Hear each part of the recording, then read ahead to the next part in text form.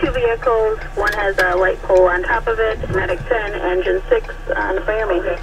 Sure. Policing is a physically demanding profession. Sam wants to keep the vehicles in row. And officers spend extended periods of time in their squad car. Um, that's their office.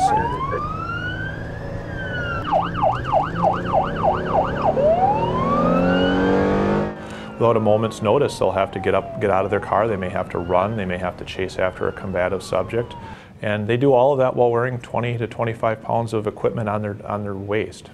There were, there were cases of police officers who were complaining about low back discomfort um, and thought it was because of the way that they carry their equipment. And so traditionally, they carry their equipment on a duty belt that goes right around their hips. Uh, even though I've only been here for uh, a few years, uh, I had already started experiencing some sciatic pain, uh, which was, you know, more in my hips uh, versus the um, traditional lower back pain. Um, So the research that we're going to do with the Eau Claire Police Department is testing the officers on a variety of, of uh, health parameters. It's a total of a six month total period, and um, we'll use that time to track what your pain levels could possibly be. So Our main portion of the study is looking at the vest that the load-bearing vest that they wear compared to what they typically wear, which is the load-bearing belt. Because a lot of these officers have been having the pain with the belt, so we're looking to see maybe it'll be less pain if we shift that weight up to the vest. I love it. They uh, first day wearing, I can really feel the uh, difference as far as back pain and just you know, not having that stress in your back, or you know, it's just it feels a lot better already on the first day I wore it.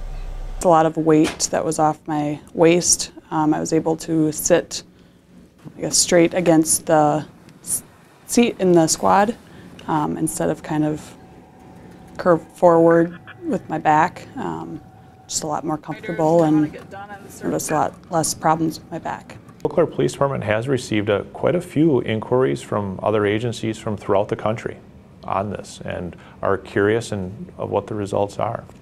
It's going beyond the city of Eau Claire. We have people from, you know, the Sturgeon Bay area. I had people that I visited in Minnesota at the University of Minnesota interested in this research. It's, it's exciting to be kind of on the leading edge of research in that area. Um, we do pride ourselves as a police department, and I think we pride ourselves as a community on being the models of best practice, and this is just yet one other example of that.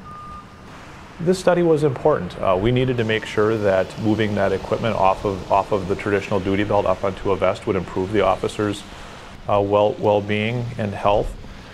As a result of the work that the student researchers conducted and our officers that participated in the study, we're going to be moving forward with issuing load-bearing vests to all of our officers.